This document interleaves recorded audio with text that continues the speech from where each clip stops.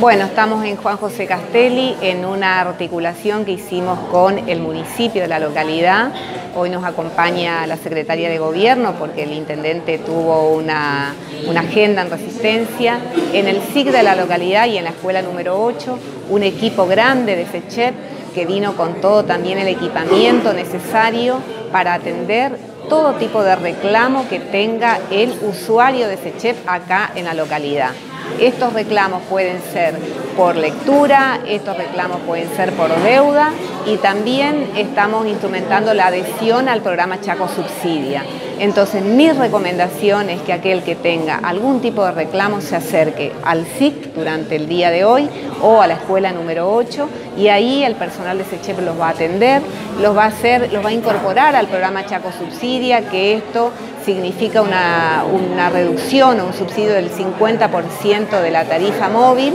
eh, que es una cifra importante, y por otro lado, aquellos que tengan deudas, también este, hay convenios flexibles a largo plazo y sin intereses. Todo esto son decisiones que ha tomado el gobernador de la provincia, Domingo Pepo, con la intención de amortiguar esta política energética de incremento irracional que ha planteado el gobierno nacional en materia de tarifa eléctrica.